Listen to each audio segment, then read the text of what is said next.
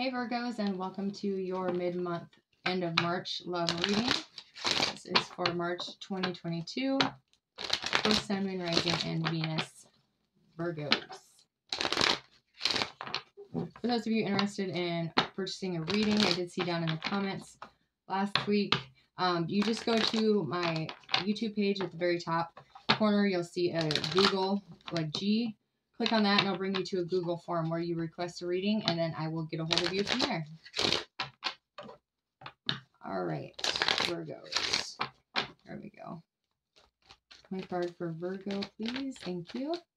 All right, you guys have honeymoon. Enjoy the bliss of time together.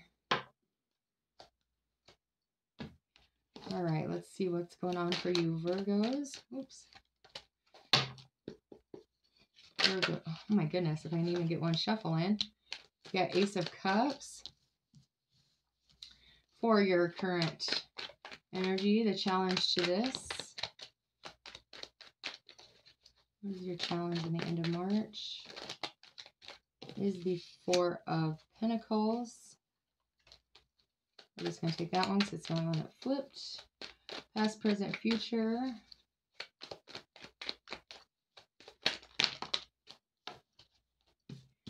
We got the Two of Pentacles, the Eight of Swords, and the Two of Cups.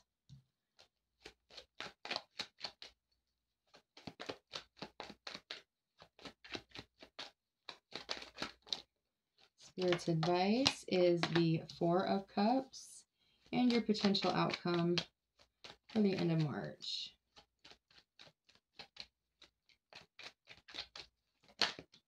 Is the Empress. Bottom of the deck is the Six of Wands, clarified with the Princess of Cups and the Seven of Cups. You have Temperance right under that. Okay, so I'm going to scoop these over so you can see them all.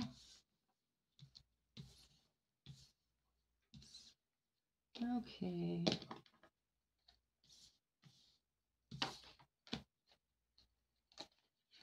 So, um, in your guys' current situation, you know, the cup, the Ace of Cup, you know, it overflows. It's outpouring of feelings. It's creative new beginnings.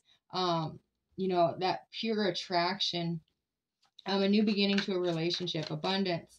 It's just really, you know, like that fulfillment, that perfection um, that one finds in life when they they start off with, you know, having that self love and the love of another. A new beginning for an old relationship is what I'm hearing as well. Or a current relationship, like a, a, a rejuvenation of a relationship that's been kind of stagnant. You have the Five of Wands.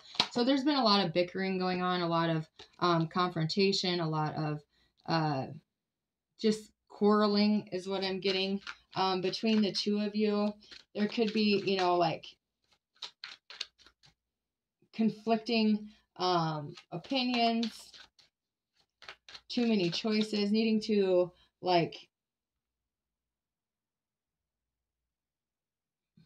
there's been some sort of like struggle here, some sort of struggle with that self acceptance, with that self love. Um, a lot of inner conflict is what I'm seeing with this one. The challenge to that Ace of Cups, that new beginning, that that love overflow. Um, is the Four of Pentacles, holding back, resisting, not investing um, as much time and energy as needed to make this successful, being stingy with your time, with your feelings, with your finances, holding on out of fear of losing. Why is the Four of Pentacles here as their challenge? Oh, the High Priestess in reverse.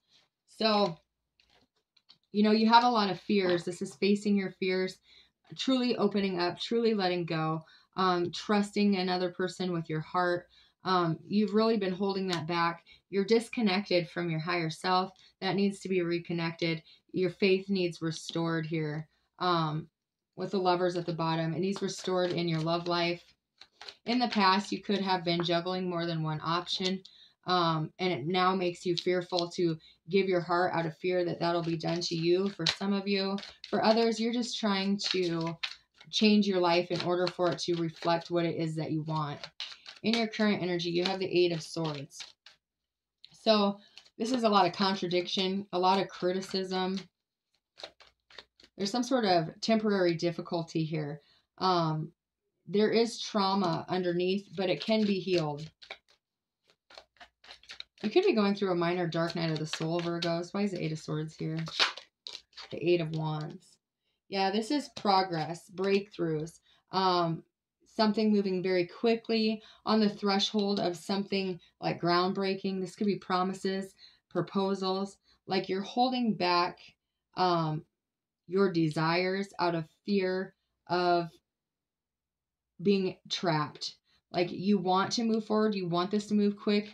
Ace of Cups is at the bottom. Most definitely, you want this love to move to that next level of the Two of Cups, but you're holding back. That holding back is your challenge. It needs released. Why is the Two of Cups here in the future? Why is the Two of Cups here? Tell me more. So with that Two of Cups, this is partnership. It's a harmonious match. It's a soulmate, a couple um, that has the willing willingness to compromise, um, agree with each other, teamwork. There's the Two Cups here for Virgo in the future. Thank you, the Hierophant. Yeah, in the future, this is somebody that, um, you know, they carry the same values as you. They carry the same traditions as you spiritually they're on the same page as you they believe in the same things as you um, and this will move to a proposal. This m- will move to a higher level of connection because the two of you are soulmates. The two of you are meant to be together. The two of you are meant um, for success in this lifetime. But in order for that success to be re- reached you need to listen to your intuition. You're blocking yourself because your intuition is telling you you need to give you need to open up you need to communicate. But your fear is blocking your intuition and you're ignoring it and just holding on tight to everything you have um, refusing to share uh, any part of your any part with your partner um, making it very complicated for the two of you to be successful. But in the near future that is gonna that is gonna change. There is a dark night of the soul here for some of you and it's you're coming out of that. You're seeing the light. You're opening up in the near future three of pentacles. Spirit's advice is to, um, with that Four of Cups being the objective here, it's using your imagination. Um, you're hiding the anxiety that you're feeling. You're feeling, um, some of you may be feeling bored or preoccupied, but you're you're not seeing the good things you're isolating the bad things you're just focusing on that and it's causing you this sadness um, it's self pity. But you need to find the new light, the hidden blessings within the situation, because this is meant to work out. You, the your person, and the divine. This is meant to work together. With the six of wands being at the bottom, it's going to be successful. Uh, but you have to put in the work. It's not just going to fall into your lap.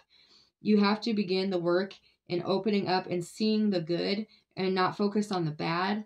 Um, and by doing that, you're going to open up to a whole new create a whole new relationship that that will be creative and new even if it's with a current partner it's new. It's it's new way of doing things seeing things.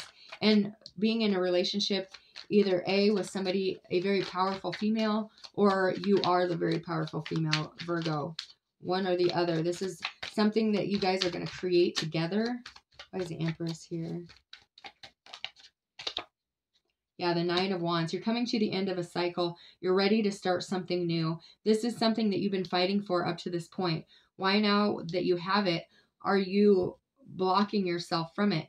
You've wanted this. You wanted to be with this person. You wanted to create a life with this person. And now that it's here, you're fighting it. You're closing down. You're holding back. You're not listening to your intuition. And you're putting up a battle, um, causing confrontation and conflict within the connection um, because you're afraid of being trapped, but yet you don't want to let go.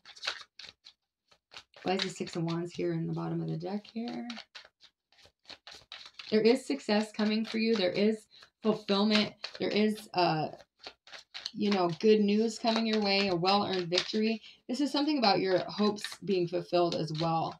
Um, this is also an honest discussion that needs to be had where there were doubts in the connection as well. I do see there's doubts here or confusion about something. Why is the Six of Wands here?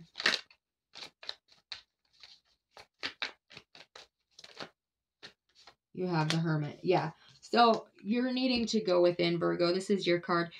You're needing to find that inner light. You're needing to find confidence. You're needing to um, find the answers within. You're blocking your intuition. You have all the answers already. You know how to make this successful. Um, it's now time to do it. It's now time to um, take some time away. And when you do that, you are going to be able to successfully move forward, eliminating these, you know, delusions, these distorted reflections. There's some sort of corruption that needs to be left behind. Um, because it's not what it appears to be. You could be like accusing this person of something and it's not what it is. You need to look deeper to find the truth of the matter. Um, there is some sort of imagination that's going to come to life, a helpful, youthful um, energy to this relationship. But it's also reflective and meditative. So, needing to reflect, needing to go within to um, eliminate the confusion because the answers are within. If you're confused, you need to take some time together. You need to both have um, set time away to enjoy the time together. It's going to rejuvenate this relationship for sure. Um, but right now, it's like the struggles of life, the heaviness of life. It's it's getting to the both of you. If you're not with this person yet, that's what's keeping you separated.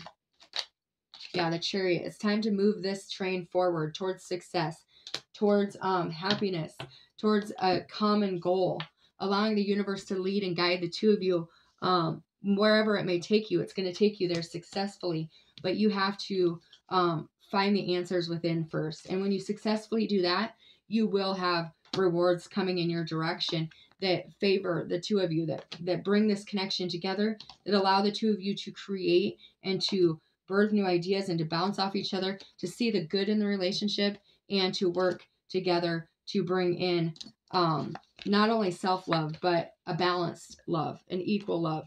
Like I said, temperance was at the bottom, finding that that beautiful balance, the ebb and flow of life, the in and the out. Um, it's time to stop fighting what you've been fighting for. You fought for this connection. You have this connection. Now open up. Don't resist this connection, Virgos, because that's what's going on. And it's really causing a lot of chaos and conflict in your connection. All right, let's get your chakra card for the end of the month. You guys have complacency and grief. So that is the root chakra and the heart chakra here. We'll start with complacency in your root chakra. it says life force energy must be taken seriously. Are you standing tall in your own dreams or trying to build on someone else's? Sadness and the inability to dissociate from a lost dream can show up here. It is time to walk away from anything that does not deeply resonate with you. Release now and be free. It says, This is a warning not to give up. Beware of coasting along in a situation that is not really what you want. You'll never be fulfilled by unmet dreams of another of others. How can you redefine your dreams? How can I stop procrastinating? Finding self-nourishment, leaving dreams unrealized, feeling depleted, time for rest, lack of motivation, and holding back. And you have grief in the heart chakra. This is, says, Pickle represents the strength of character inherent in true love. This card heralds a deep caring and an ability to heal and love again. However deep pain or hard challenges you face, troubled times denote smooth sailing ahead. Penelope and Pickle are reminded remind us that that what we reveal, we can heal. Give yourself time. You will love again. If you honor your pain, it will change your life. Is lingering grief preventing you from the progress in your current relationship? What can I see in my heart? You're feeling grief, needing to heal. Um, something, or wait, being afraid of sadness, love, commitment, and vulnerability. Okay. So yeah, feeling afraid of feeling that trapped feeling. It's time to release that, to heal from that. So you can open up again, love again, and enjoy the time together. You guys need to take some time together um, to get this relationship rejuvenated, or if you are separated from somebody, you need to heal that pain in order to bring in that love that you are desiring, Virgo. So, okay, guys, I hope you had a, or I hope you enjoyed this reading and have a beautiful day.